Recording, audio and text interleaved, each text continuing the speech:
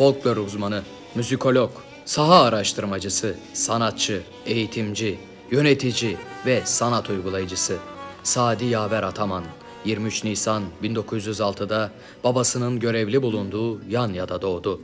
Babası Kafkasyalı mücahit Şeyh Şamil'in baba soyundan Doktor Ali Yaver Ataman.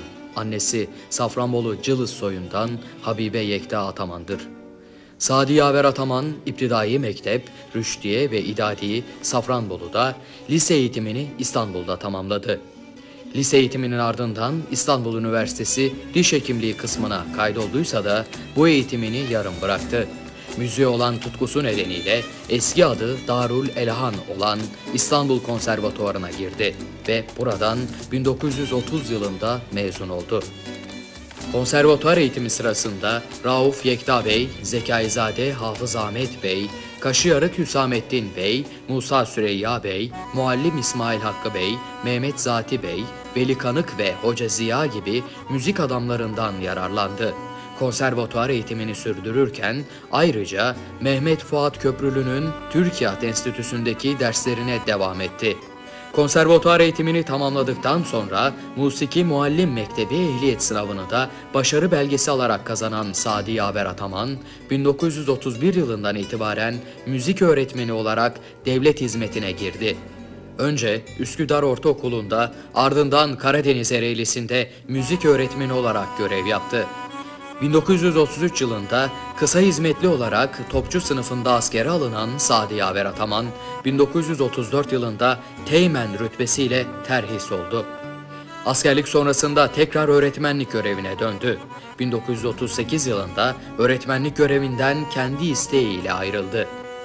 1938-1940 yılları arasında Ankara Radyosu Halk Müziği Yayınları yöneticiliğine getirildi hazırlayarak sunduğu programlarla halk müziğimizi folklorik değerleriyle ve açıklamalı olarak ilk kez halka tanıtmaya başladı.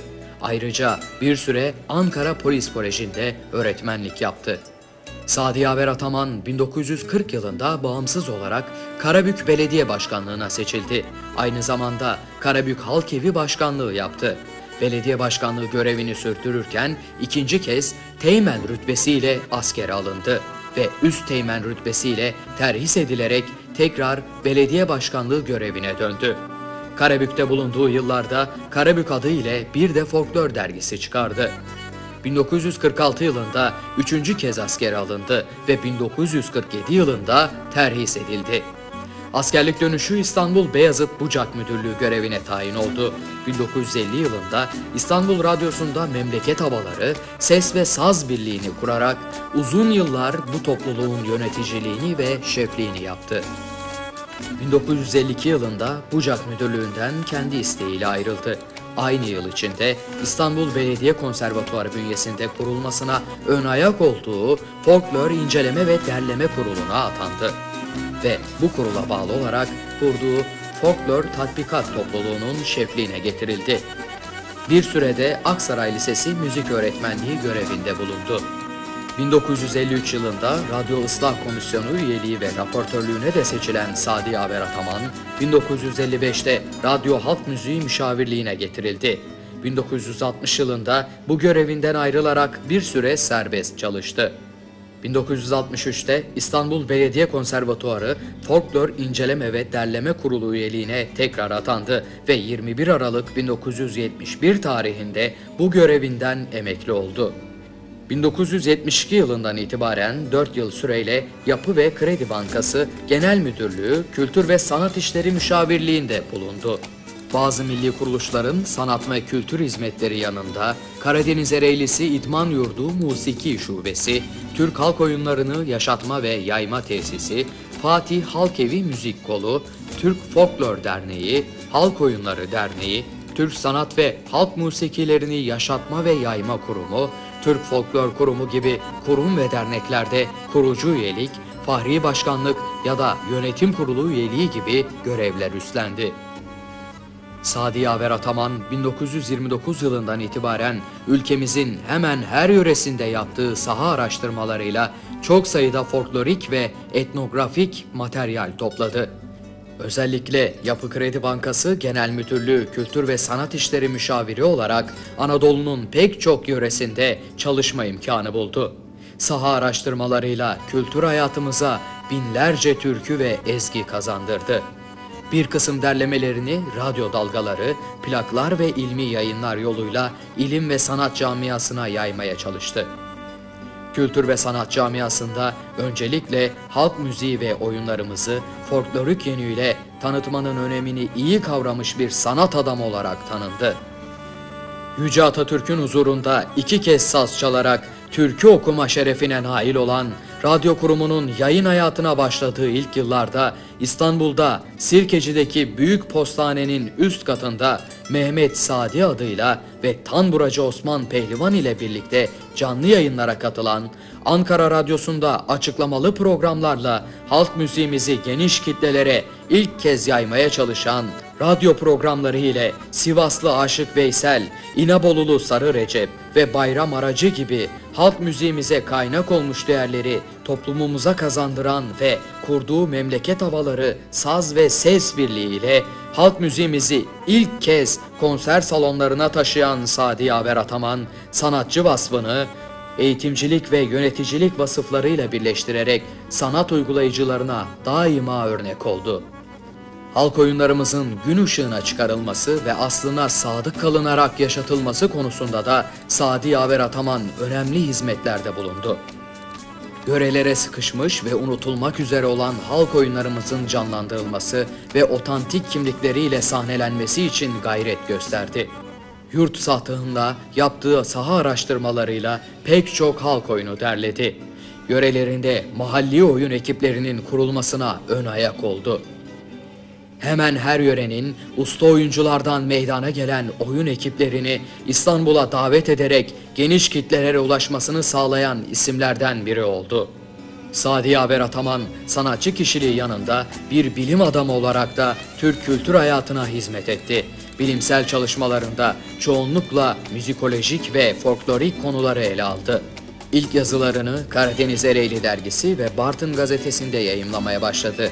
Bozkurt, Çağımız, Doğu Büyük Ülkü gazetesi, 9 Eylül dergisi, Folklor, Folklore Doğru, Folklor Postası, Genç Öğretmen, Halk Bilgisi Haberleri, Halk Eğitimi, Hamsi, Işık Yolu, İstanbul Belediye, Karabük, Karaelmaz, Kemal Yolu, Kıyı, Maya, Musiki, Musiki Ansiklopedisi, Musiki Mecmuası, Müzik ve Sanat, Müzik ve Sanat Hareketleri, Orkestra, Orkun, Söyleyiş, Özdeyiş, Pirelli, Sanat Bilim ve Kültürde Orkun, Sır, Sigorta Dünyası, Sivas Folkloru, Şua, Tarla, Türk Folkloru, Türk Basın Birliği, Türk Folklor Araştırmaları, Türk Musiki Dergisi, Ülkü, Ülkücü Öğretmen, Varlık, Yelken, Yeni Fırat, Yeni Musiki Mecmuası, Yeni Öğretmen gibi dergilerde ayrıca Adalet, Bizim Anadolu, Son Havadis ve Tan gibi gazetelerde bin civarında makale ve tefrikaya imza attı. Bazı yazılarında Emre Kayaoğlu takma adını kullandı. Görsel Türkiye Ansiklopedisi ve Renkli Büyük Türkiye Ansiklopedisi gibi ansiklopedilerin folklor ve halk müziği maddelerini yazdı. UNESCO ve çeşitli kültür sanat kongrelerine davet edildi. Milli ve milletler arası folklor ve türkoloji kongreleri ile sempozyum, panel ve seminerlere, bildirilere katıldı. 40 civarında kitap yazdı ise de bunlardan 20'ye yakını yayımlanmadı. Sadi Haber Ataman'ın yayımlanmış 17 adet kitabı bulunmaktadır. Yayımlanmamış 15 adet kitabı bulunmaktadır.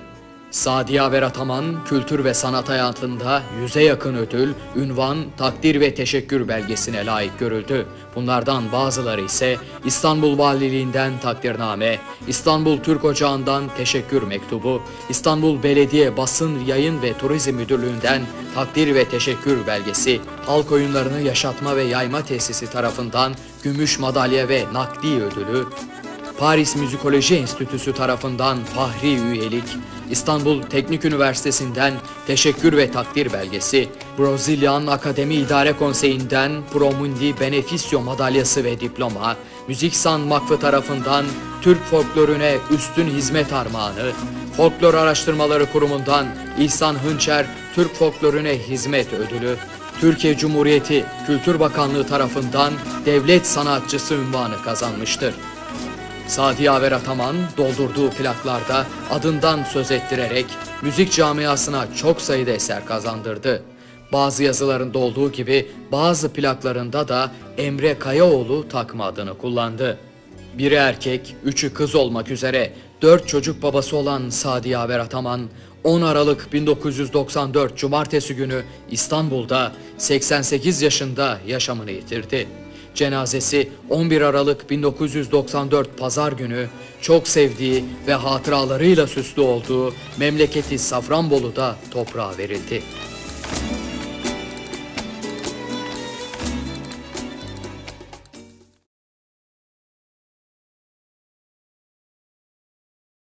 Sevgili dinleyenlerimiz, yolculuklarda, hele uzun vapur yolculuğunda insanlar birbiriyle çabuk kaynaşır, dost olurlar.